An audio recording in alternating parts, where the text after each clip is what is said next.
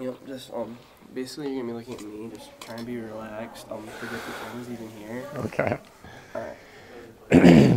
okay, can I get you um state your name, what grade you're in, and what your position was in the mock car crash? Mm-hmm.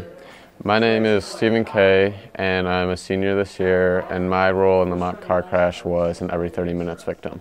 Alright.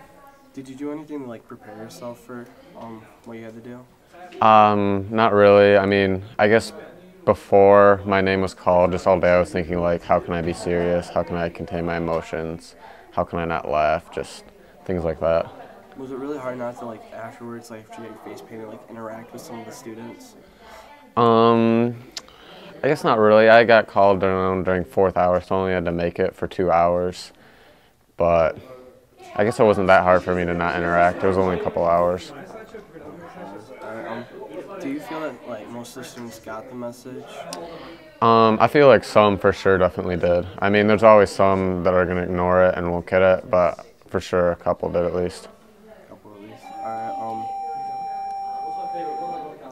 um. Um, in one word, can you describe what the car crash was to you?